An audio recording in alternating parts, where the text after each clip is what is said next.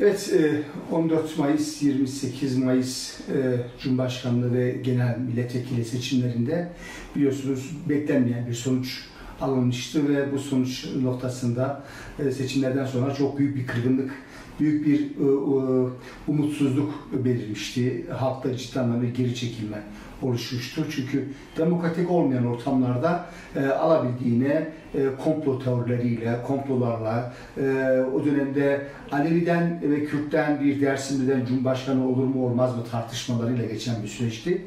O süreçten bugüne kadar Alevi kurumları da aslında toplumdaki bu geri çekilme, içine kapanma, siyasi partilerin kendi içe dönme dönemine, döneminde Aleviler sokağa işaret etmişti. Alevi kurumları olarak inatla ve ısrarla iki miting gerçekleştirmiştik. E, İzmir ve e, İstanbul'da. Bu mitinglerimizin aslında önemi yeni yeni anlaşılıyor.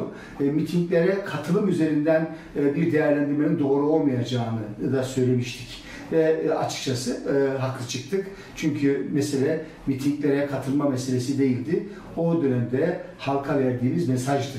Mesajımız bu anlamıyla bu seçimde bir anlamıyla karşılık bulduğunu düşünüyorum. Şimdi e, dün yapılan seçimin tabii çok yönden değerlendirmesi elbette ki olacaktır. E, çok iyi okumak gerekir bu seçimi ama şu çok açık nettir ki dün e, aslında halkın birleşik gücünün bir zaferiydi. Herhangi bir partinin, herhangi bir adayın zaferi olarak değerlendirmek çok eksik kalır, eksik olur. Dolayısıyla adayların ya da partilerin değil, halkın zaferiydi. Çünkü uzunca bir zamandır 22 yıldır bu ülkede ülkede ülkeyi hızla karanlığa sürükleyen, toplumu açlığa, sefalete, işsizliğe mahkum eden, gençleri umutsuzluğa e, ve aslında kendi ülkelerini terk etmeye zorlayan, eğitimde ve yaşamın her alanında dinsel ve giriciliği e, açıkçası bu noktada e, öne süren ve hızla hızla ülkeyi şirata sürükleyen politikalara karşı ama son dönemde özellikle emekliler, yoksullar, işsizler noktasında çok ciddi bir yoksullaşma, derin bir kriz noktasında seçimin böyle bir zamana denk gelmiş olması aslında toplumun bir bütün olarak iktidara çok ciddi bir cevabı niteliğindeydi.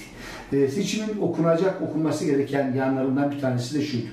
Özellikle Mayıs seçimlerinde Kürtler, Aleviler, Sosyalistler hiçbir çıkar beklemeksizin, hiçbir karşılık gözetmeksizin alabildiğini demokrasiden yana bir tavır almışlardı. Bugün yine dün yapılan seçimde de yine aynı kesim özellikle Aleviler, Kürtler, e, e, bu ülkenin ilericileri, aydınları, demokratları, sosyalistleri dün çok net bir sanki sessiz bir iletişimle e, birbirlerini anlayarak e, hareket ettiler ve AKP'ye çok ciddi anlamda sadece AKP'ye değil AKP'nin o gerici ırkçı ortaklarına da ciddi bir cevap verdiler. Adaleti tanımayan, adaletsizliği öngören, e, toplumu, gençlerimizi e, düşüncelerinden dolayı zindanlarda çürüten, siyasetçileri, gazetecileri içeride içeriden çıkartmayan, hatta ve hatta kendi çıkarttıkları anayasanın gereğini dahi yerine getirmeyip anayasaya uymayan, yasaları çiğneyen bir anlayışa karşı dün halkın tokatı indi. Bu biçimiyle değerlendirmek gerekiyor. Tabi buradan bir zafer sarhoşluğu değil, esasında bundan sonraki süreçte ne yapmamız gerektiğine dair özellikle biz Alevileri ve Alevi kurumları kendi içimizde bunu değerlendirmek durumundayız. Artık gerçek manada sadece çözümün sandıktan ibaret olmadığını, aslında çözümün sokaktan geçtiğini, çözümün aslında e, bir bizzat fiili ve meşru mücadeleden geçtiğini anlatmamız gerekiyor. Bunu bilince çıkartmamız gerekiyor. Sadece belediye kazanmak, sadece muhtarlık kazanmakla bu işin olmayacağını ama bu süreçten sonra daha örgütlü, daha güçlü bir Alevi hareketi, daha örgütlü, daha güçlü bir halk hareketi, daha örgütlü, daha güçlü bir sınıf hareketi, bir kadın hareketi, çevre hareketi ve bunların toplamından oluşan güçlü toplumsal muhalif kesimlerin ortak mücadelesi e, ile yol almamız gerekiyor ki aslında bu iktidara gerçek ve kalıcı cevabı o zaman verebilelim.